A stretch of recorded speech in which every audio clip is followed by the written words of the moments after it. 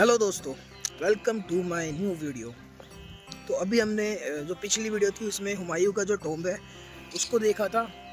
अगर आपने वो वीडियो देखी है देन अब जो हम वीडियो बना रहे हैं, ये अगेन वही हुमायूं के कम्प्लेक्स है, जो इतनी बड़ी जगह है, इसमें अलग अलग जगह हैं, और एक साथ तो हम पूरी वीडियो बना नहीं सकते थे, वरना वीडियो बहुत ही बड़ी हो जाती। तो अब ये हमारा नया व्लॉग है, इसमें हम आपको नई चीज़ दिखाएँगे। इसमें जो हम दिखाने वाले हैं ना, वो बहुत ही यूनिक सी चीज़ है, जिसके बारे में आपने ना तो अभी तक सुना होगा और ना इसको ज़्यादा लोगों से इसके बारे में बात होती है। इस जगह का नाम है नाई की गुंबद बारबर्स स्टोम अभी टॉम्ब है, पहले मैं आपको दिखा देता हूँ, फिर इसके बारे में कुछ बातें हैं जो मैं आपको बताऊँगा। पहले आप इसके कुछ शॉर्ट्स देखिए।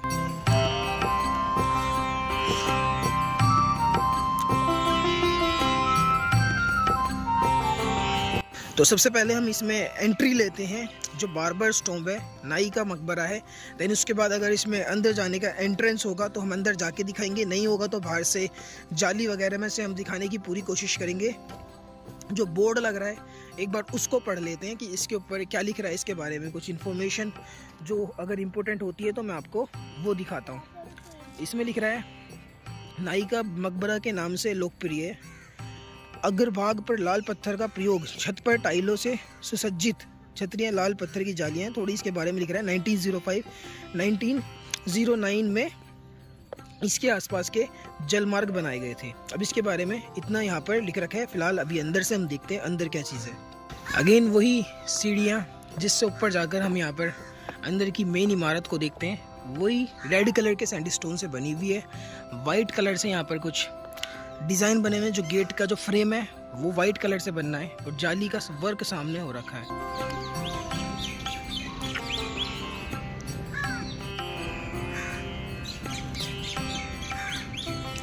जो हुमायूं का जो टोम्ब है, उसके चारों तरफ़ चार गार्डन है। उन चार गार्डन में ये इकलौता एक ऐसा टोम्ब है, जो कि बना हुआ है। वरना यहाँ पर किसी की भी कबर नहीं है, कोई भी टोम्ब नहीं है। सामने वो हुमायूं का टोम्ब एकदम सामने है। उसके पास जो चार बाग है, उन चार बाग में से जो एक साउथ वेस्ट की तरफ़ है, उसमें ये नाई का मकबरा बना हुआ है। अब इसके बारे में अब तक पता ही नहीं पड़ पड़, चला कि ये किसका है। बस ये कह, कहा जाता है कि वो नाई थे और जो बादशाह थे, उनके बहुत ज़्यादा करीबी थे, तभी उन्होंने उनको यहाँ पर जगह दी है। अपने चार बाग में उनका मकबरा बना हुआ है।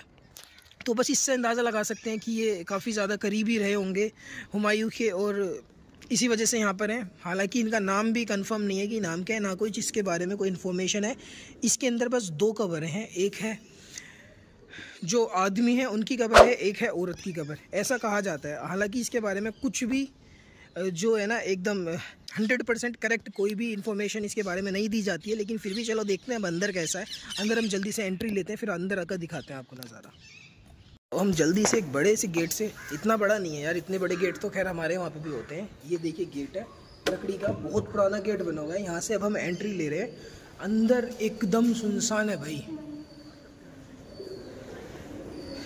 दिखाता हूँ मैं आपको। सबसे पहले जो है दो कब्रें हैं यहाँ पर।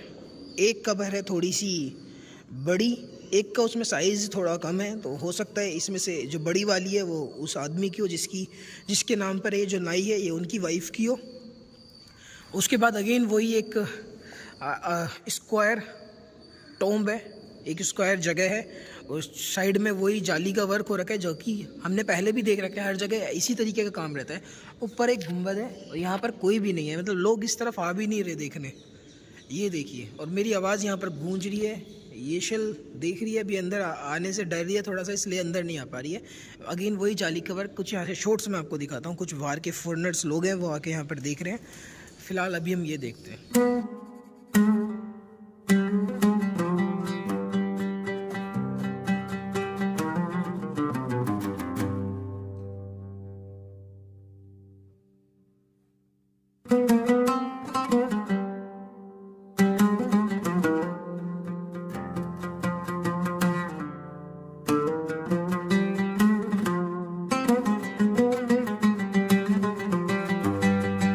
कोई कह सकता है यहाँ पर जो दरवाजे हैं 500 साल पुराने हैं। ये लकड़ी का जो काम है, ये 500 साल पुराना है। अब इसके ऊपर ये लोहे का है, ये मेरे को नहीं पता ये कब के होंगे।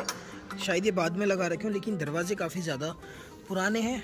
और अगेन यहाँ पर वही जो लोग मोन्यूमेंट्स बिगाड़ते हैं, वही चीज़ यहाँ पर भी कर रखी है। कुछ लोग यहाँ के बाहर के, यहाँ पर आके घूम रहे हैं। ये देखिए कितना खूबसूरत यहाँ का नज़र। इतनी ज़्यादा प्यारी ये इमारतें बनी होती हैं, लोगों को पता नहीं क्या मिलता है, यहाँ पर अपने नाम लिख लिख के सब चीज़ें ख़राब कर देते हैं। इसी तरीके से यहाँ पर भी कर रखा है, इतने सारे लोगों ने अपने नाम लिख रखे हैं। खैर, अब ये सब चीज़ें पहले चलती थी, अगर अब यहाँ पर कोई करता है तो उसको यहाँ पर पेनल्टी देनी पड़ती है, उसको यहाँ पर लीगल एक्शन का सामना करना पड़ता है। सामने देखिए हुमायूं टोम का नज़ारा, ये उसी का एक चार बाग में से चार बाग हैं, उनमें से एक बाग है, उसके अंदर ये नाई का मकबरा है।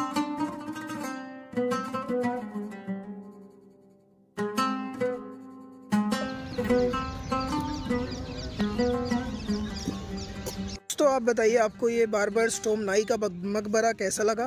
ये वीडियो हम यहाँ पर कंप्लीट करते हैं। इसके बाद मिलते हैं नेक्स्ट वीडियो में। और ऐसे ही आपको अगर हमारी वीडियो अच्छी लग रही है तो चैनल को सब्सक्राइब करके रखें, ताकि आप हमारा कोई भी व्लॉग मिस नहीं कर पाएँ।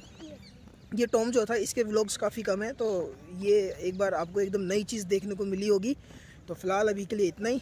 Thank you so much guys comment करके बताएँ आपको मेरी वीडियो कैसी लगी।